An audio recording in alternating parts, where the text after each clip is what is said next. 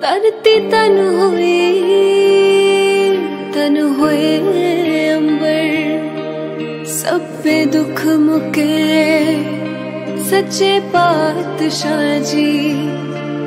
ਹੱਥ ਬੰਨ ਦਿਆ, ਮੱਥਾ ਟੇਕ ਦਿਆ। ਤੁਸੀਂ ਆਣ ਟੁਕੇ, ਸੱਚੇ ਪਾਤਸ਼ਾਹ ਜੀ।